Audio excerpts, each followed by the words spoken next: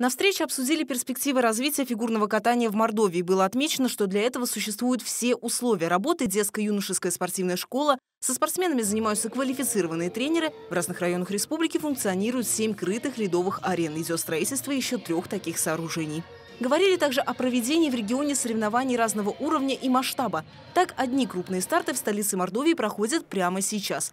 Мемориал «Жука» – соревнования для самых юных фигуристов. За кубки и медали в течение четырех дней будут бороться мальчики и девочки 2008 года рождения и младше. Всего турнир собрал более 100 спортсменов из 23 регионов страны, соревнуются в одиночном катании. Каждому предстоит показать короткую и произвольную программы, а также мастерство исполнения отдельных элементов.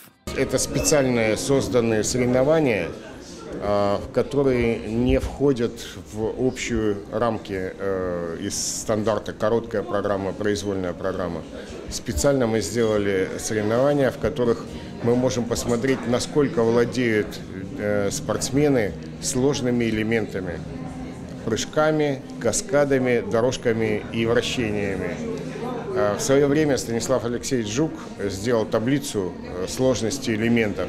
И вот по этой таблице мы сейчас работаем. На торжественной церемонии открытия соревнований помимо главных лиц российского и регионального фигурного катания присутствовал заместитель министра спорта России Андрей Сельский. В Мордовию он прибыл с особой миссией. По поручению президента страны во всех регионах России должна пройти цифровизация спорта. В нашей республике упрощение всех процессов с учетом современных технологий находится на начальной стадии. Впереди много работы, но уже составлен план развития. Смысл в том, чтобы э, собрать ключевых людей физкультурно-спортивной отрасли э, республики и э, создать совместно дорожную карту цифровизации спорта вот здесь, в регионе, с учетом лучших решений федеральных и из региональной практики, из коммерческой практики вот всего этого. Первыми еще накануне официального открытия соревноваться начали мальчики старшего возраста. 10 марта судьи оценивали выполнение ими элементов. 11 марта также в элементах продолжили соревноваться девочки младших и старших групп. Завершил соревновательный день короткая программа в исполнении старших мальчиков.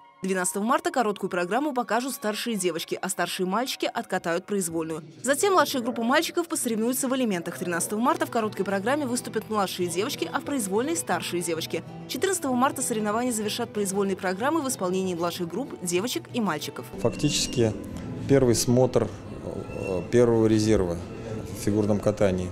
Через 2-3 года э, победители вот этих соревнований будут уже блистать на европейских и мировых первенствах.